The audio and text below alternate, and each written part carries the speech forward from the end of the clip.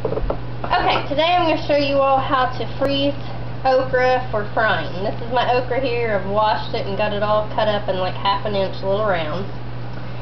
And then in another bowl over here, what I'll do is I will mix up the breading that I'm going to roll it in, and then after I roll it in this, we'll fry it for a few minutes.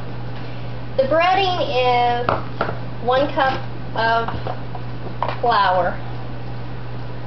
I'm going to double this recipe because I've got probably six quarts here.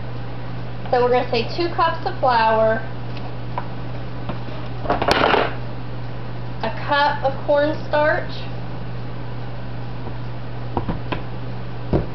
and two cups of cornmeal. Okay.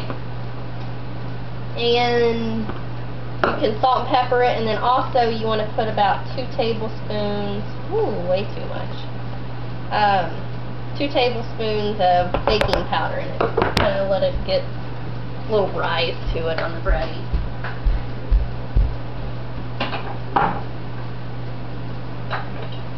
Get my salt and pepper here. And then salt and pepper it.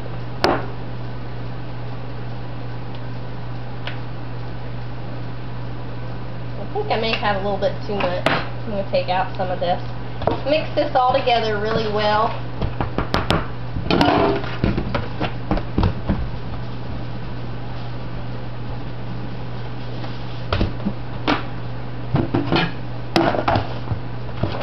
It's better to do it in small increments. So what I'm going to do is get another bowl and take out some of that.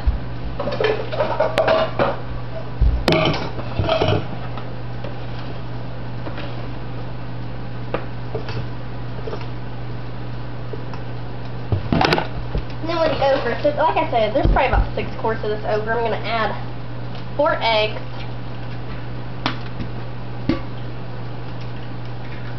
This is just to like wet the okra really good and make this batter stick to it. I'm just going to get my hands in there and uh,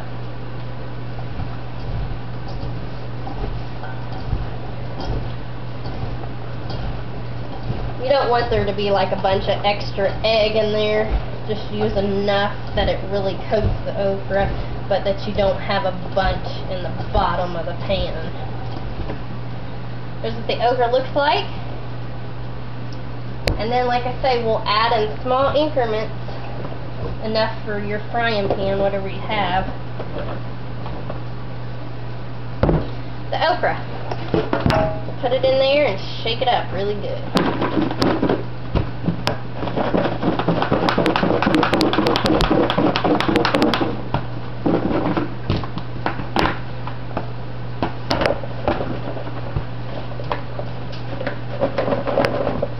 The okra looks like after spreaded.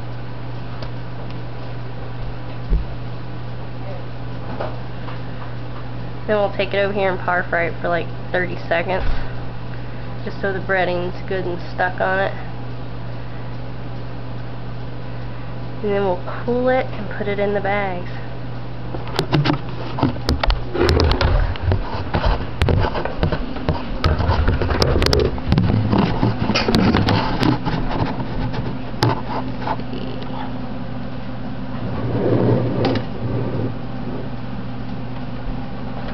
Make sure your olive oil is good and hot. I use olive oil. I'm going to put the okra in here.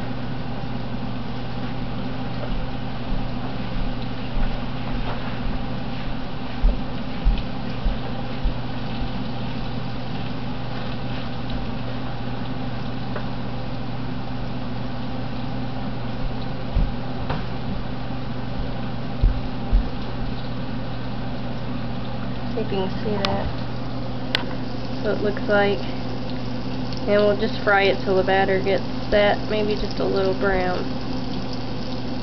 We'll take it out of there and drain it on like paper towels or newspaper works really great. I don't have newspaper today, so we're going to use paper towel.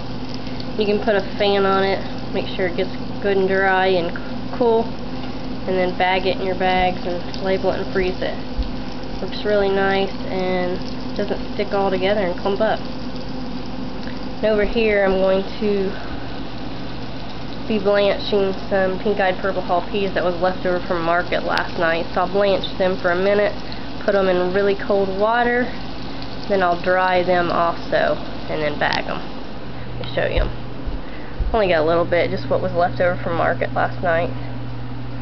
But I don't want them to go to waste. So that's it, and that's what we're going to do. We're going to be taking these out of here. Might flip these once.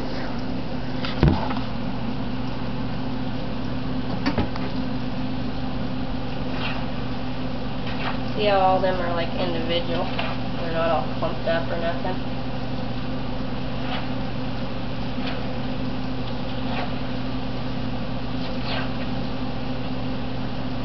And that's pretty much good enough. And we'll take them out there, put them into our bowl to take over and put on the paper towels.